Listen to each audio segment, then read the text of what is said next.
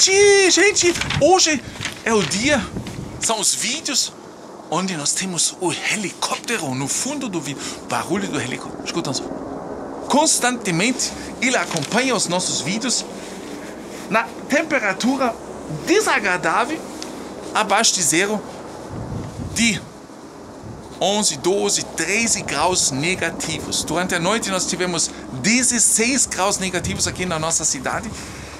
Frio, frio que vocês não podem imaginar. Mesmo aquecendo, ó, esquentando lá dentro, fechando tudo, vocês podem ver aqui, a gente agora são 10 e pouco, nós ainda temos fechado.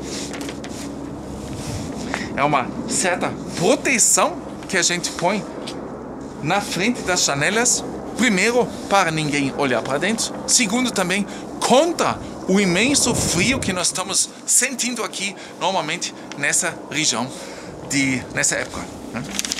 E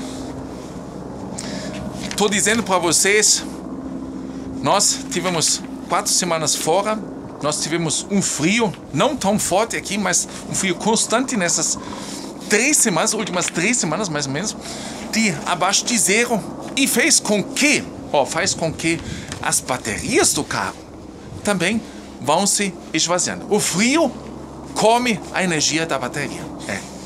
E nós, quando nós voltamos de Portugal, anteontem, nós chegamos a 11h30 no estacionamento em Munique, onde nós deixamos o nosso carro para quatro semanas e o carro não pegou. Ah, o frio fez com que a bateria não teve mais força o suficiente para ligar o motor. É. Nós tivemos um rolo ali, gente, um rolo ali.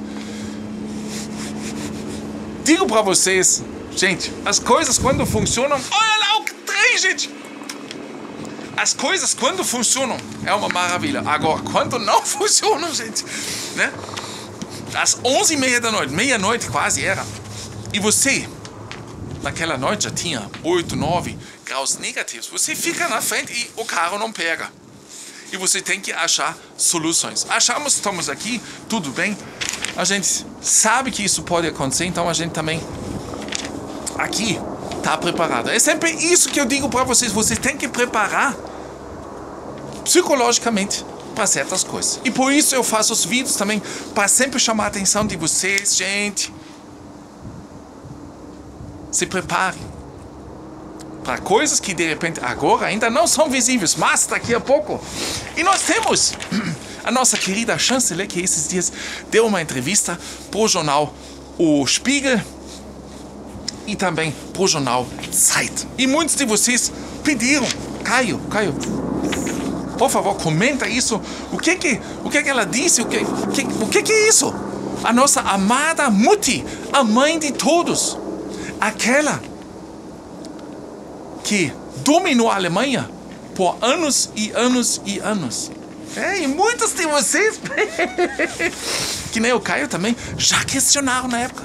Já falaram, essa mãe de todos não é de todos mesmo, né, gente? Não é de todos mesmo. E agora, então, numa entrevista, a, querida chanceler da paz confessa que o acordo de Minsk foi apenas um truque. Talvez nem todos sabem do acordo de Minsk, que foi fechado em 2015 após de um, ehm, desculpem. Ah vocês devem saber. A admissão de Angela Merkel no jornal Der Spiegel e no jornal Die Zeit de que o acordo de Minsk só foi assinado em 2015 para dar tempo à Ucrânia de se rearmar revela um lado totalmente novo da história. Sabe? Eu, eu até achei estranho que ela falou isso abertamente. Né? E logicamente depende do lado que a gente vê as coisas, pode, pode se entender de forma diferente também. Né? Nós não vamos cair nessa, né? A gente, um pode defender a Merkel, outro pode é, é, é, atacar, né? Então, realmente, sempre de novo há lados sim que defendem, outros que atacam. Mas nós vamos tentar explicar para vocês a situação. assinado em 2015 para dar tempo à Ucrânia de se reamar, revela um lado totalmente novo da história. No mencionado artigo do Spiegel, do jornal Spiegel, ela disse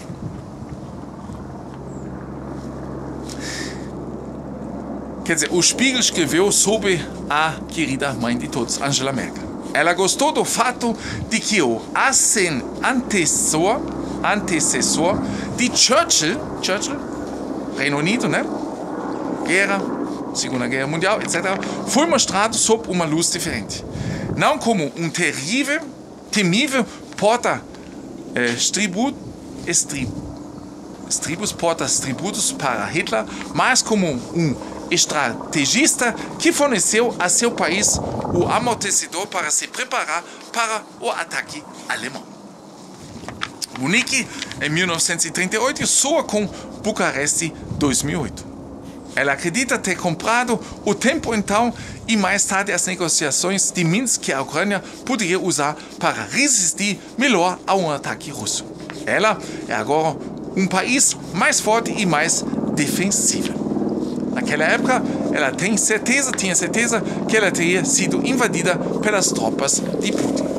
Então, ela compa com, comparou a atitude dela com a época da Segunda Guerra Mundial, onde o antecessor do Churchill também fez a mesma estratégia com o Hitler.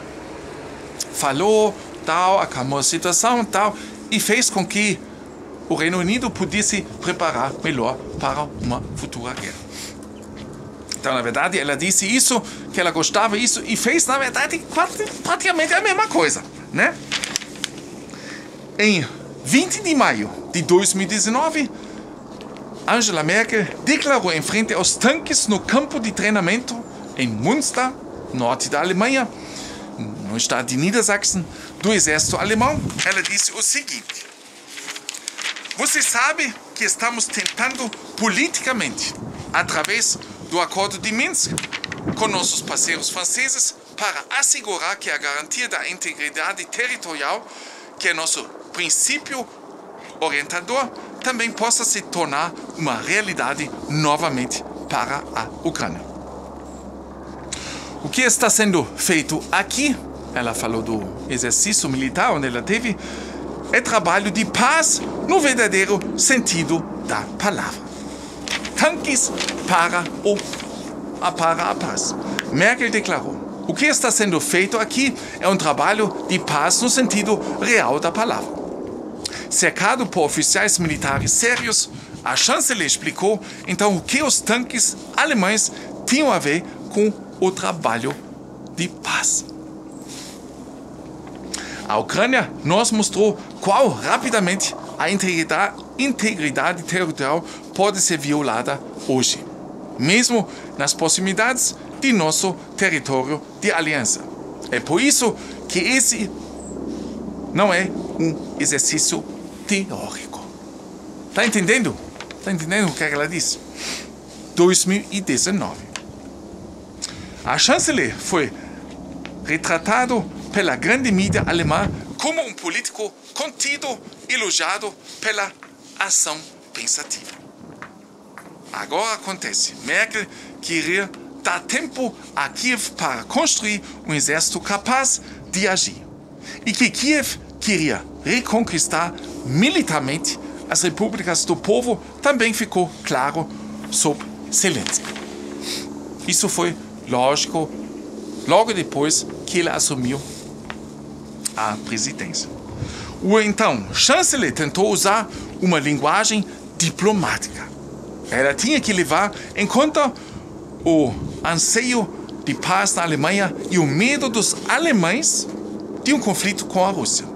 Enquanto a Ucrânia não tivesse rearmado militarmente, ela não queria deixar o conflito militar ficar fora de controle que estava acontecendo nos bastidores em termos de armamento na Ucrânia foi aparentemente, constantemente escondido pelos jornalistas dos principais meios de comunicação alemão, mantendo assim os cidadãos da Alemanha